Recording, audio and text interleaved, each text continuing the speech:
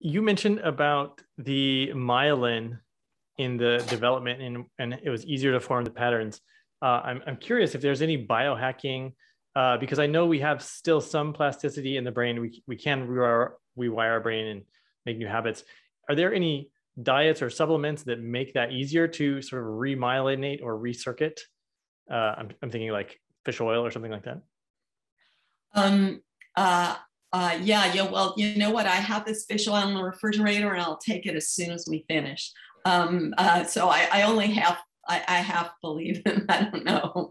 Um, I do not think so because we need the myelin just to repair the circuits we have, and if we had a way to repair these circuits, we would be doing it, you know. So I don't think so. So this whole idea that we have neuroplasticity throughout life, it's true, but it has been overhyped because it allows coaches and um, you know uh, various magical cure-all people to help sell this.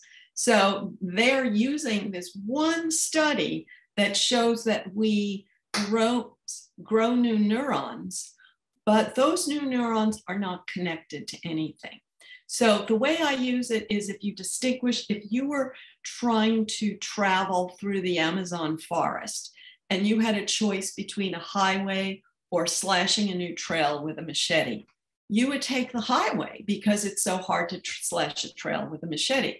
But then you would discover that the highway goes to a yucky city that you don't really want to be in.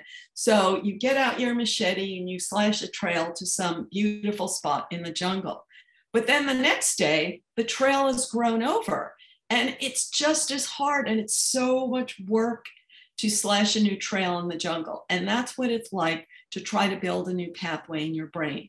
But once you understand why it's hard and why it's valuable, then you're willing to put in the effort. So it will always be hard and you will never have more than a little dirt trail. But if you slash the same path, if you slash the same path every day, a trail will establish and it will not be as big as the big highway, but it will be enough for you to be able to make the better choice on a regular basis. Mm-hmm that's reminding me of the book 10% happier where where he's saying you know it it did make a difference but uh, it's it's that i'm 10% happier. So it's like it could be dramatic uh, on occasion but but it's not like you're you're totally changed. Okay that's a good uh, yeah and if you are always running after some utopian dramatic changes you may not do the things that will make you 10% happier which will aggregate if you keep doing that yeah, if you keep, if you chop a new path in a different direction every day,